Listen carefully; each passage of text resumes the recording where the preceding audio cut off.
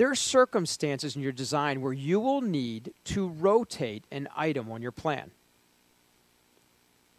As an example of this, let's look at building an island.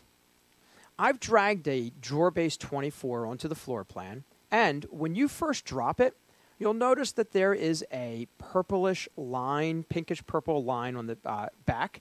That line always indicates the back of the item.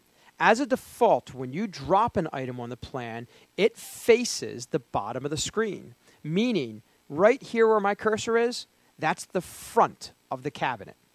Now, in this circumstance, maybe this island needs to face my sink base. If I right click on the cabinet, there's an option here called rotate. When I click rotate, I move my mouse, and you'll notice that you see the purple line as I move, that's showing the back.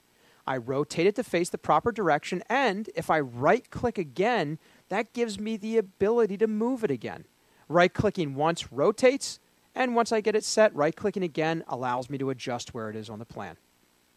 I can do this from scratch as well. I could take a base 30, drag it over, I can right click, and I can rotate that to be aligned and drag it and let it snap right to the base 24.